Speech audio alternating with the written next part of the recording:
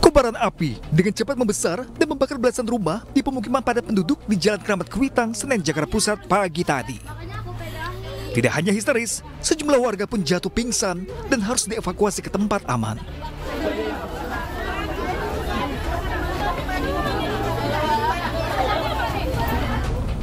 Bahkan amukan si jago merah juga membuat seorang lansia penghuni rumah tewas diduga menghirup asap kebakaran. Saya juga kaget atau tiba-tiba tuh api yang gede aja Pak depan rumah saya. Saya buru-buru nyelamat segala surat-surat. Yang penting anak-anak saya sama ibu bapak saya deh. Oh, termasuk ibu. Habis, iya, Oh. habis. Api pun berhasil dipadamkan satu jam kemudian setelah 14 mobil damkar dikerahkan dengan total 13 rumah warga hangus terbakar. Dari Jakarta, Rani Senjaya, Ayus melaporkan.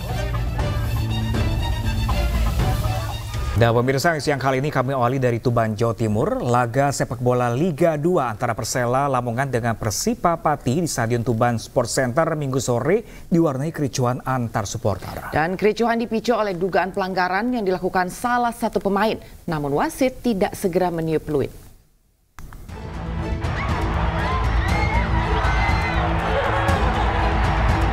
Laga sepak bola Liga 2 antara Persela Lamongan dengan Persipa Pati di Stadion Tuban Sport Center, Tuban, minggu sore diwarnai kericuan antar supporter dan juga antar pemain. Kericuan ini terjadi di menit 59 saat gawang Persela kemasukan gol yang ketiga kalinya. Namun beberapa detik sebelum terjadi gol, sempat terjadi dugaan pelanggaran yang diduga dilakukan oleh pemain Persipa. Setelah kemasukan bola, kericuan awal sempat terjadi antar pemain hingga nyaris terjadi baku hantam. Namun kericuan justru meluas di antara penonton di tribun bagian timur. Kericuan ini terjadi di lebih dari satu menit, baik di lapangan maupun di atas tribun penonton. Hingga pertandingan berakhir, skor 3-1 untuk kemenangan Persipa Pati. Dari Tuban, Jawa Timur, Pipit Wibawanto, iNews melaporkan. Ya pemirsa ajang yang seharusnya mengajarkan sportivitas diwarnai kericuan dalam ajang lomba drum band antar sekolah dasar dan menengah pertama di Surabaya. Sejumlah orang tua murid kesal setelah diminta membayar 3 juta rupiah karena melakukan protes kepada panitia.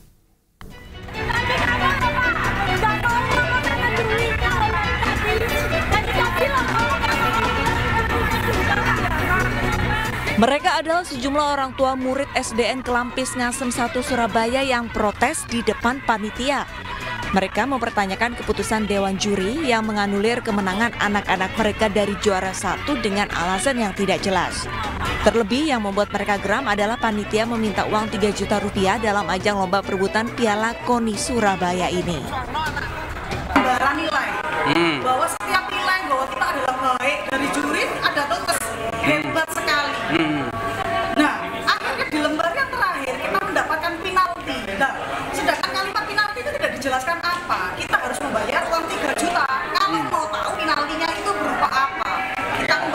Kita sudah menulis surat pernyataan sudah kita lakukan.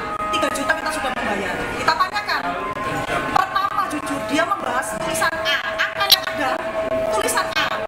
Sedangkan kita sudah menghapus, jujur aja kita sudah menghapus. Setelah kita sudah berdebat lama, sekarang ganti B yang berbentuk stipo. Kita mempertanyakan sportivitas ini di mana? Kalau kita tidak dijunjung tinggi, biar noe koni iki, buat apa piala koni? kita kan di sini kan wadah atau untuk anak-anak mengasah kemampuan kita ke depannya dalam bidang band. Nah di sini itu kita sayangkan karena apa? Ada keputusan dari pihak panitia atau juri yang tidak berkenan atau tidak sesuai. Nah itu kan ada jalurnya. Ada jalurnya satu, kita bisa protes setelah pengumuman. Nah kita sudah melayangkan itu semua protes dan kita melayangkan protes itu tidak gratis. Ada biayanya sebesar 3 juta rupiah. Kita juga sudah kasih semuanya. Tapi penjelasan dari pihak panitia akal sama sekali. Kita dilempar sana sini, dilempar sana sini. Kita dituduh harus ada gini, ada gini, ada gini. Kita datangkan buktinya juga. Terus kita lempar juga yang juara itu banyak kesalahannya juga.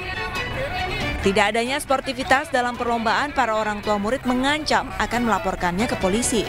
Hingga saat ini, panitia lomba belum bisa menyelesaikan permasalahan dan para orang tua murid akan melapor ke kantor KONI Kota Surabaya. Dari Surabaya, Jawa Timur, Ahmad Ilyasan, Ainus melaporkan. Pemirsa satu rumah kontrakan yang dijadikan markas geng motor di Sindang Jaya, Tangerang, Banten digerebek warga yang resah. Ya pemirsa, sembilan remaja anggota geng motor diamankan dan senjata ditemukan diserahkan ke polisi.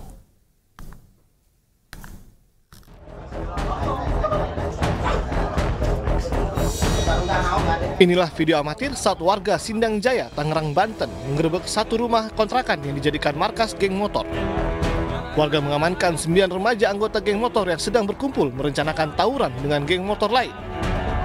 Warga juga menemukan berbagai macam senjata tajam hingga panah yang disembunyikan di atas plafon rumah. Polisi yang mendapat laporan langsung mengamankan sembilan remaja anggota geng motor bersama barang bukti senjata tajam ke Polsek Pasar Kemis. Penggerebekan ini berawal adanya kecurigaan warga lantaran rumah kontrakan tersebut kerap ramai dikunjungi para remaja. Warga juga melihat salah satu remaja sedang memegang senjata tajam.